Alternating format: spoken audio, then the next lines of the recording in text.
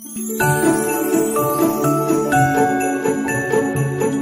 guys, welcome back to Tatnique. I am back with another video and today I'm going to be giving you a Vlogmas update. So right here, I have some Chick-fil-A that I'm going to be eating.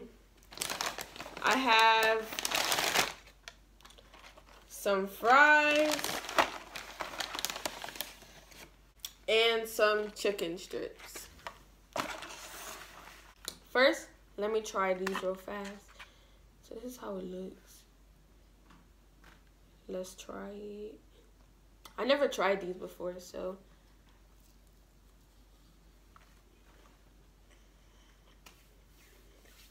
This is not that bad. Oh yeah, and I also forgot to say, I have some fruit punch right here. I want to give a big shout out to those people who has been doing Vlogmas for years because I just started this year and it's the hardest thing ever. Sometimes when I try to upload my videos, it doesn't work and I have to keep doing it over and over. And if it doesn't work, I have to wait till the morning to upload. So it's very hard. And then when I come home from school, I have so much homework to do. Most of the time, I don't know what video I want to do. If the video does not turn out right, usually I have to re-record it and that takes like another 20 minutes. But when I edit it, it's only like a five minute video. But like in between that, I had a lot of difficulties during the video. That's why some of my videos are so short. But behind the scenes, I have to do a lot of prepping for the video to make sure everything is good before I get started.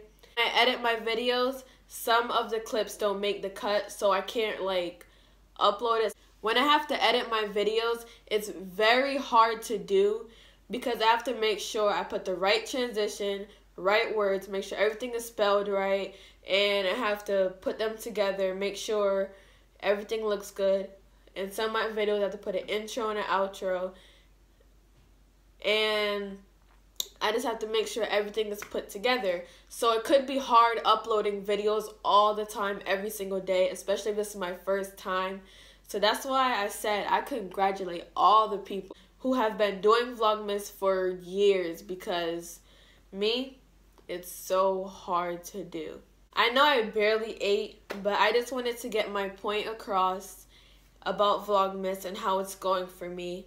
And I wanted to share that with you guys. So if you're thinking about doing Vlogmas, um, I recommend it, but make sure you're always prepared and have videos to post because it can be very overwhelming. So make sure you guys give this video a big thumbs up if you enjoy, subscribe down below, and turn on the bell so you get notified every time when I post a video. And stay tuned for the next Vlogmas. Bye!